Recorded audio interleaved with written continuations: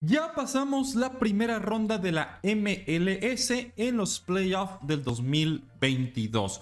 Nos entregaron un par de partidos bastante buenos, aunque yo creo que la gran crítica debe ser de que en, nada más en un partido, en el primer tiempo, metieron goles. Todos los demás partidos en el primer tiempo sí fueron 0 a 0. No sé si es por el miedo, no sé si es por prevenir, pero terminó sucediendo y es un dato bastante interesante. Eh, nos dejó partidos bastante buenos. Eh, un par sí se definieron llegando a la, tanda de penales. Otros ahí llegando hasta los últimos minutos, pero terminaron siendo partidos bastante, bastante entretenidos. Así estaban las llaves. LA Galaxy contra Nashville. Dallas contra Minnesota United. Y Austin contra Real Salt Lake por parte de la conferencia oeste. En la este estaba New York Red Bull contra Cincinnati, New York City contra Inter Miami y Montreal contra Orlando City. El primer partido fue el Cincinnati contra New York Red Bull en Jersey, eh, un partido que hubo una baja asistencia, ahí fue muy criticado. Y terminó pasando el Cincinnati. Como yo les dije, ese ataque de Cincinnati es letal está en un momento top de esos delanteros, de esas delanteras que cualquier equipo busca tener. Ese tridente que dices, uff, donde se paren, meten golecitos y terminó sucediendo 2 a 1. Eh, empezó Morgan abriendo el marcador en el segundo tiempo, iniciando, y ya después Acosta con un penal y Brandon Vázquez definiendo en los últimos minutos.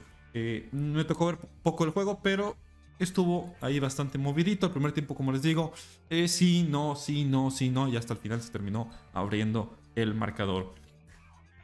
Este partido a mí me decepcionó mucho, principalmente Nashville. Creo que eh, respetó de más al equipo de, LA Galaxy. Eh, cuando intentó atacar ya, ya era demasiado tarde.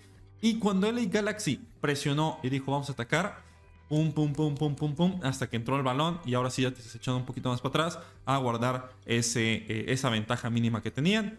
LA Galaxy terminó mostrando que sí tiene un plantel bastante interesante y cuando juega bien se muestra en la cancha y puede eliminar a cualquiera. Vamos a ver cómo le va en la siguiente ronda.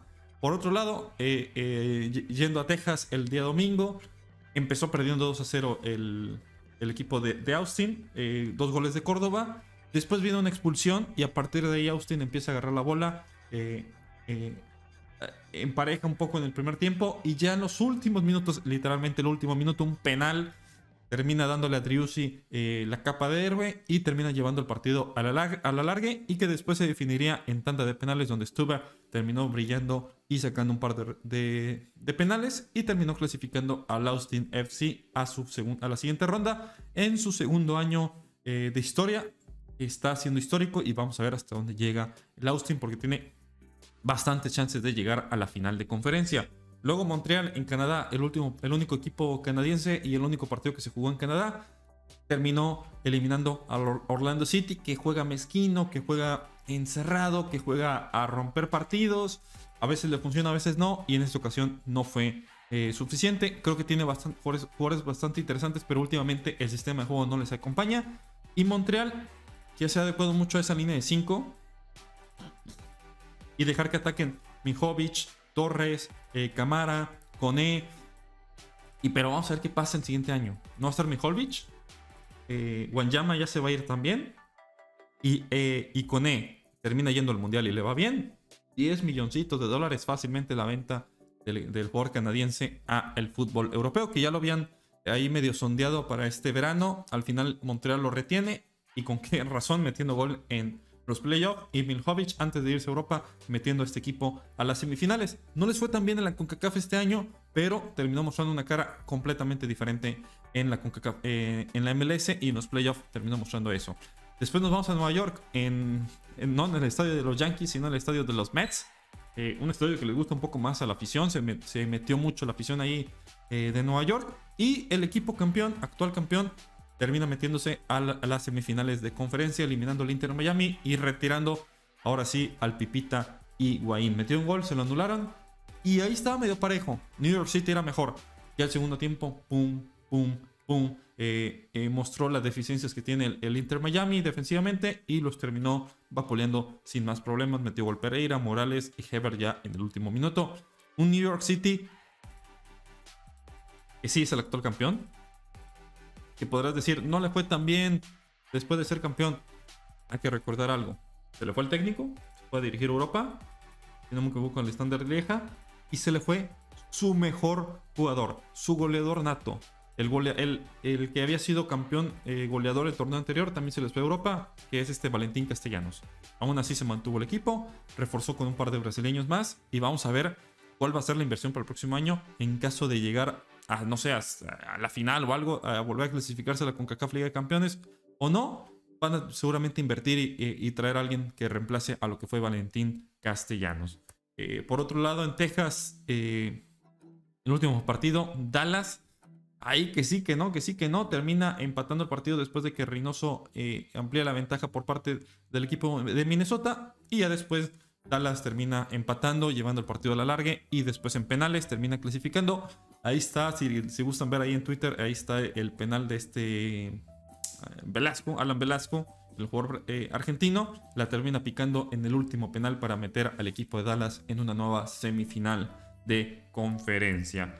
Eh, ahora se va a meter el Philadelphia Union, que fue el mejor equipo del este, con 67 puntos, dos puntos más que el Montreal. Y el campeón de la Supporter Shield 2022, el equipo LAFC, que también ganó 67 puntos y ganando la conferencia eh, oeste. LAFC contra LA Galaxy. Y por otro lado, Austin contra FC Dallas. Eso es por parte de la conferencia oeste. Y la este, Philadelphia Union va a recibir al quinto posicionado que es FC Cincinnati. Y Montreal estará recibiendo al tercer posicionado que es el New York City allá en Canadá. Vamos a empezar con el, el vamos a empezar con el este. Philadelphia Cincinnati. Un Philadelphia que para mí es el que mejor juega, el que mejor sistema de juego tiene, el que mejor lo define, el que mejor lo, lo implementa en la cancha no tiene tantos jugadores determinantes, no tiene tantos jugadores franquicia, como se puede decir. Sí los tiene registrados, pero en el, eh, yo lo que me refiero es que eh, no se ven en la cancha. No, no, no ves un Carlos Vela, no ves un Buanga, no ves un Tello, no ves un Bale. Ves a jugadores que podrías verlos como los demás y terminan jugando bastante bien. Eh, han hecho buenas contrataciones, han hecho buenas ventas, el equipo se mantiene. Hay unos, unos torneos donde les va mejor, otros donde les va peor, pero el equipo se mantiene y es fiel a su estilo de juego. Vamos a ver si mantiene eh, la defensa con Glesen, con Wagner, ahí con los demás, con Elliot, si no me equivoco, con este. Elliot, creo que también se llama, no me acuerdo bien. El lateral derecho en Biosó, creo, un camerunés. A ver cómo se mantiene e igual Anthony Blake contra una delantera bastante letal que ha sido Brandon Vázquez, que ha sido Brenner, que ha sido este Luciano Acosta. Recuerden que este partido es el jueves, al igual que el LAFC contra el Galaxy. Y el domingo sería el Dallas Austin y el Montreal contra el New York City. Pero ahora sí, eh, yo veo. Ah, si la defensa se comporta la de Filadelfia, no creo que haya tanto problema para pasar. Recordemos que va a estar en casa, probablemente va a estar a reventar ese, estadio. Eh, Philadelphia Union que tienen esa. Tienen en mente el campeonato, pero vamos a ver qué, sucede. Yo veo pasando a Filadelfia no tan fácilmente. Y si la defensa no se comporta a la altura, creo que Cincinnati puede dar la campanada. Yo les había dicho con facilidad: Cincinnati va a vencer a New York, New York Red Bull. Lo terminó haciendo. No sé qué tanto le vaya a pasar ahora con Philadelphia Union, pero se abren las puertas, se abren las posibilidades. Me voy con un partido parejo y termina pasando Philadelphia Union con un golecito. No creo que tampoco se arriesgue mucho el técnico. Y luego New York City visita a Montreal en Canadá. New York City me parece que tiene mejor plantel, pero eh, creo que esa línea de 5 es difícil de romperla de Montreal. Y, y ese medio campo con esa delantera tiene mucha dinámica, se entiende muy bien. Y eso es lo que va a tener que defender eh, New York City, que tiene Caldens, que tiene a, este, a Mutsen, si no me equivoco. Tiene un par de jugadores, eh, Thiago Martins, si no me equivoco, también en la defensa. Tiene una defensa que se ha estado componiendo y un medio campo bastante interesante. Vamos a ver si se recuperan un par de las bajas que tenían. Tal vez Magno, vamos a ver si, si reaparece, que ha sido el jugador más importante del New York City en la delantera después de la salida de Castellanos. Pero ante esas bajas tiene que poder eh, va a ser un partido cerrado. Va a ser un partido que yo creo que ahora sí se va a ir a la larga. Montreal no, no sé qué tanto podría tener para aguantar un, New York City, que inclusive con esas bajas se ve fuerte el ataque. Me voy con un empate y creo que si se van a penales termina pasando el New York City porque tiene un mejor portero, pero la moneda está en el aire. Yo veo eh, un empate con New York City pasando, pero va a estar bastante, bastante parejo. Ahora sí nos vamos al este. Dos clásicos nos va a regalar la conferencia oeste. Dije este, oeste. LAFC contra LA Galaxy. El clásico del tráfico, si no me equivoco, su primera edición en playoff. Qué partidazo nos va a regalar, qué partidazo. Lamentablemente para eh, la audiencia eh, acá en México, este clásico es a la misma hora que el, partido del Monterrey contra el Pachuca. Una lástima, una lástima que se hayan empalmado esos dos partidos, pero bueno, vamos a ver qué sucede. Eh, ah, creo que el AFC va a pasar, va a pasar, va a terminar ganando. No creo que se, se le dificulte tanto. LA Galaxy eh, creo que ya mostró su, máximo nivel. Eh, no es la gran cosa, pero termina dándole el resultado de llegar a estas semifinales. El AFC tiene muchas más variantes. Tuviste en el partido de, contra Nashville, cuando hizo los cambios en ofensiva, Jovelich, eh, Efraín Álvarez y Cabral entrando como revulsivos, jugadores jóvenes. En cambio, eh, LAFC puede tener de sustitutos a este Christian Tello, este Garrett Bale, Opoku. Me parece que en cuanto, en cuanto banca, creo que es donde LAFC va a ganar. Me parece que tiene mejor medio campo con este Cifuentes, con este Eli Sánchez, con este Acosta, con este Blessing, eh, inclusive este Méndez. Y defensivamente igual tiene mejores variantes que lo que es este LA Galaxy y mejor portero que Scripo. Yo creo que va a ganar. No me gusta cómo está jugando el equipo de este eh, LAFC, pero con las individualidades lo va a terminar metiendo en la final de conferencia y probablemente lo va a estar recibiendo si es que llega a avanzar el LAFC. Ahora, por otro lado, el clásico eh, de Texas. Eh, Austin se metió para, meter, eh, para ser un equipo interesante, contendiente al título, y por algo está aquí, es el segundo mejor posicionado, y va a recibir a, Dallas, que por fin está volviendo a tener ese, esos partidos de, de playoff, esos partidos, está teniendo una mejor plantilla, últimamente como que no, venía bien, ahora con estas ventas y, y esa buena inversión, creo que han tenido bastante mejor. Eh, me gusta mucho el porteo Páez, eh, el del Dallas, a comparación de Austin, que creo que ambas tienen malas defensas, pero en, portero creo que sí termina ganando un poco más Dallas. Medio campo, me gusta esa dinámica de juventud que tiene eh, Dallas con la, experiencia que tiene Leggett, Leggett, eh, y no me acuerdo cuál es el otro serbiano, si, es el contención. Creo que tiene una media cancha bastante competitiva junto a la de Austin. Y la delantera es donde se va a ver quién es mejor. Me gusta más la de Dallas, pero creo que sí tiene un problema en que este Jesús Ferreira es el centro delantero. No es un centro delantero matón. No es un centro delantero de área.